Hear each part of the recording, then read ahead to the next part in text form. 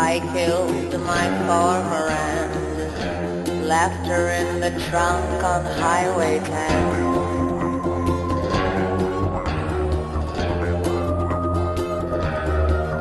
Put the knife under the hood. If you find it, send it straight to Hollywood.